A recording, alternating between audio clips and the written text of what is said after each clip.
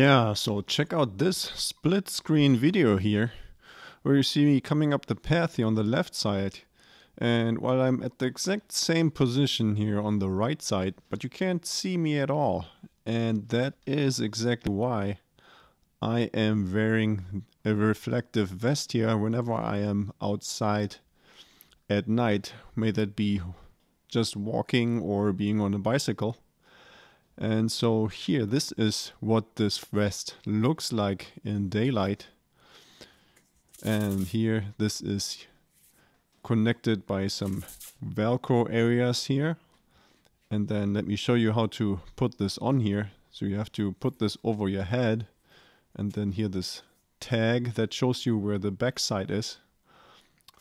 So and now this is here how I pull this over my head and now you have these two Velcro areas here on the bottom and on the back here and you pull this over and then I attach these two sides here just like this.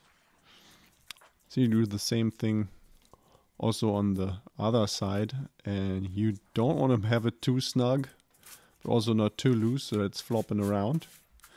And now here you can see now here these gray grayish areas, those are the reflective pads. So at night, when the uh, some light hits this, then uh, it's going to reflect pretty good. And then in this case here, this vest also came here with these reflective bands.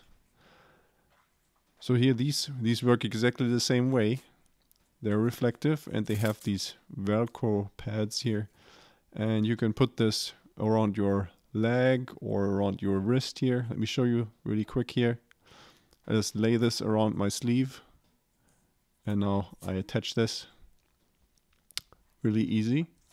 And especially when I'm on my bicycle, then I'm putting this around my ankle here and around my pants because this is also very beneficial because then my pants don't get caught in the chain by accident. See, just just like this. So uh, now let's have another look here at the difference between wearing one of these vests and not wearing one. So we, again here on the left side you can see me clearly standing there or coming up the path here.